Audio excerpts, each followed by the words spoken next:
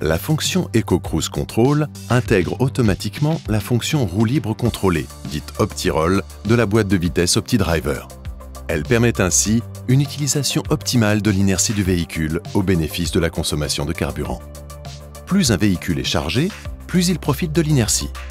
Dans les descentes, le véhicule gagnera de la vitesse en profitant de l'inertie afin de maximiser son mouvement. En montée, le véhicule décélérera pour favoriser le régime moteur et ainsi limiter la consommation de carburant.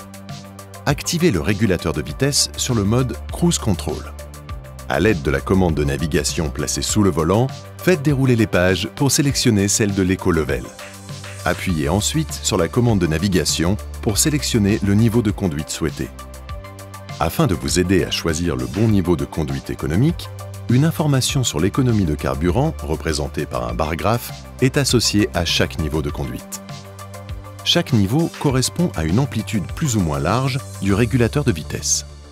Selon le niveau de conduite économique choisi, les informations de vitesse minimale et maximale sont affichées.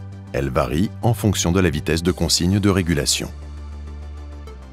Le niveau 1 correspond à une amplitude large du régulateur de vitesse. La fonction OptiRoll est autorisée l'économie de carburant indiquée est maximale. Ce niveau est donc à privilégier. Le niveau 2 correspond à une amplitude moyenne du régulateur de vitesse. La fonction OptiRoll est également autorisée. Ce niveau est à privilégier sur route vallonnée et en cas de charge importante. Ici, l'économie de carburant est moyenne. Le niveau 3 correspond à une amplitude étroite du régulateur de vitesse. La fonction OptiRoll est ici inhibée. Ce niveau permet certes un maintien de la vitesse, mais limite l'économie de carburant. Sans action du conducteur dans les descentes, le véhicule peut dépasser la vitesse maximale légale. Les ralentisseurs seront utilisés pour ramener le véhicule à la vitesse maximale légale dans les 38 secondes. Deux boutons vous permettent de mémoriser des seuils de vitesse. Nous vous conseillons de mémoriser un premier seuil lorsque le véhicule est en train de tracter et un deuxième lorsque le véhicule est en retenue.